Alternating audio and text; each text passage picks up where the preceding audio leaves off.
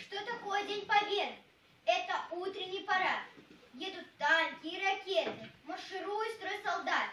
Что такое День Победы? Это праздничный салют.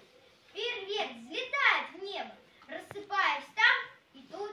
Что такое День Победы? Это песни за столом, это речи и беседы, это дедушкин альбом. Это фрукты и конфеты, это запахи весны. Что такое День Победы? Это значит нет. Мы поклонимся России, краю дедов и отцов. Говорим тебе спасибо за священный вечный зов с вечной верой в человека. Он живет у нас в крови, вечный зов добра и света, вечный зов родной земли.